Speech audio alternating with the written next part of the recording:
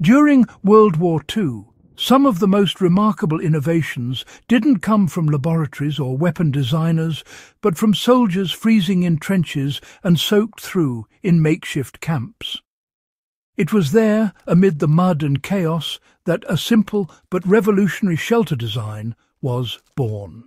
A rainproof structure made not from canvas or metal, but from dirt, wax and, well, raw ingenuity. This improvised method was so effective that it baffled engineers and outperformed issued tarps under prolonged storms.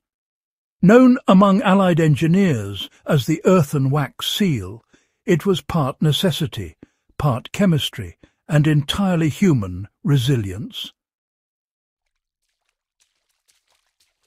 In the early years of the war, standard-issue tents leaked under heavy rain, especially in cold or coastal regions.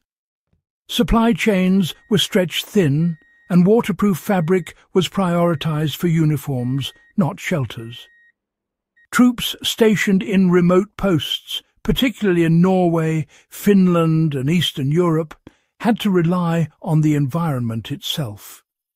It was there that soldiers learned how to turn the very ground beneath their feet into a watertight roof. What began as a crude experiment became one of the most effective field shelters ever built, and, honestly, modern campers, even with advanced materials, have struggled to match its performance. The idea began with a problem. Canvas tents, once soaked, became heavier, colder, and impossible to dry. Soldiers tried waxing their tents or layering tar paper, but those fixes failed in the field. The turning point came when Finnish troops, famous for their survival instincts in sub-zero weather, noticed that paraffin wax mixed with certain clay-rich soils formed a water-resistant crust. When spread over a surface and heated slightly by fire or sun, the mixture bonded together, hardening into a natural seal. This trick spread quickly through partisan and resistance networks, eventually reaching Allied engineers who began adapting it for temporary shelters. The formula was simple. Mix roughly one part melted wax with four to five parts damp, fine soil, Stir until it reached a paste consistency and apply it over a base layer of woven grass, moss or bark. Once cooled, it formed a hard, smooth surface that shed rain effortlessly, even under heavy downpours. Field tests recorded in 1943 by a Royal Engineers unit in Scotland noted that a shelter covered with this dirt and wax mixture stayed dry for ten consecutive days of rain, while canvas coverings soaked through within 48 hours. Ah, the secret lay in how the wax sealed those microscopic gaps in the soil, while the dirt itself, well, it protected the wax from melting or cracking under the sun's exposure. It was primitive chemistry, you see, solving modern waterproofing long before polymers ever existed. To create one of these shelters, soldiers began with a simple lean-to or trench roof framework made from wooden poles or scavenged branches. They laid a layer of woven vegetation, usually dried reeds moss or grass, which served as the base to hold the wax soil mixture. Over this went the paste, spread by hand or shovel until it reached about one inch thick. Once cooled, it solidified into a crust that could be further strengthened by layering additional dirt or ash. The final result, well, it resembled a natural hillside, more than a man-made roof. Rainwater flowed off smoothly, pooling away from the trench instead of seeping through. Some units even discovered that sprinkling a thin layer of fine ash or sand on top kept the surface from becoming slippery or reflective, reducing visibility from the air. Because the materials were locally sourced, soldiers could repair or expand their shelters endlessly. Unlike fabric, which degraded in constant damp, the earthen wax layer could be patched with a bit of melted candle or grease. In extreme cold, when wax was scarce, animal fat and even soap were substituted, with surprisingly effective results.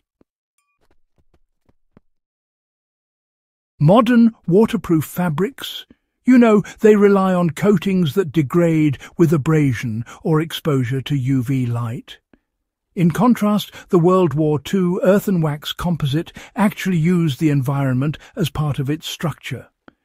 Because dirt, clay and wax all shared similar thermal expansion rates. The material didn't crack as temperatures changed. It flexed just a bit, but still maintained its seal. Field notes from a Soviet engineer's manual in 1944 described how waxed soil roofs remained watertight through freezing and thawing cycles, something that, frankly, no fabric could survive.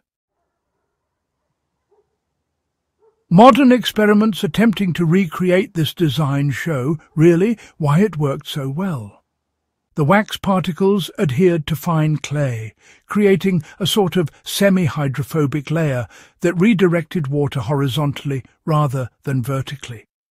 When applied over a natural substrate like moss or grass, that redirection became self-reinforcing. Each drop that landed on the roof actually helped compact the structure, instead of weakening it. The result, well, was a self-healing waterproof system. Minor punctures sealed naturally as residual wax melted from body heat or nearby fire smoke, spreading into cracks. That property is nearly impossible to replicate with synthetic membranes, which, you know, rely on uniform factory coatings. For anyone interested in historical survival engineering, the process is honestly practical and teachable. The modern equivalent requires nothing more than beeswax or candle wax, fine soil with a good clay content, and some natural insulation material like leaves, grass or straw. In a small test shelter or lean-to, melt one kilogram of wax and mix it with four to five kilograms of moist soil until the blend feels thick and pliable, sort of like wet putty.